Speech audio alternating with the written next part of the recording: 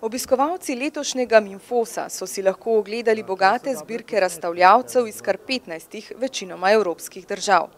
Čudovit mozaik pestrosti mineralov in fosilov so pomembno dopolnjevale poljudne razstave in strokovne delavnice.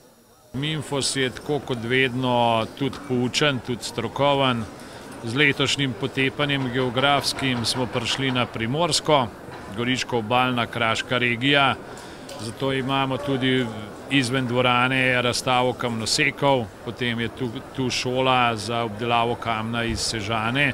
Tako da v okviru Minfosa, tako kot sem podaril, strokovne, poučne delavnice, tudi predavanja, tudi poudarek na okolju, imamo projekcijo filma o ohranjanju evropskih rek, seveda je pa tržač v vsakem času zabaven, splača se ga ogledati tudi staro mestno jedro in pa v okviru Minfosa vodeni izleti kot vsako leto v Dožanovo Sotesko, to našo enkratno nahajališče fosilov in pa seveda letos je odprt tudi Antonov rov v Podljubelju, tako da kdor si kupi vstopnico za Minfos ima plačan prevoz tudi tja.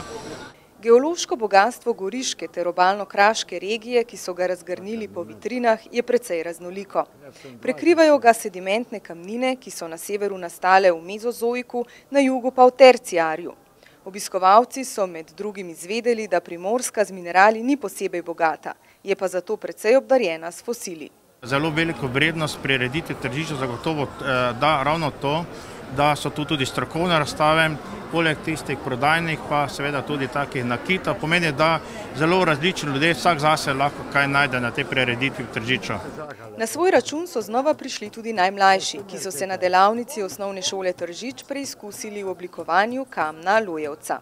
To je kamen, ki je tako mehak, da se ga lahko žaga, noter reže z razne vzorčke, z vijaki, z raznim urodjem in otroci to radi delajo. Radi ustvarjajo tudi s takim urodjem, ki ni vsakdanje, oblikujejo pa najrazličnejše stvari, tudi obeske naredijo, luknjice naredijo kamen, dajo vrvico in imajo potem en lep spomin na Minfos. Organizatorji so prav za letošnji Minfos preuredili neizkoriščeno zaklonišče pod Tržiškim gradom v Kosmačev rov.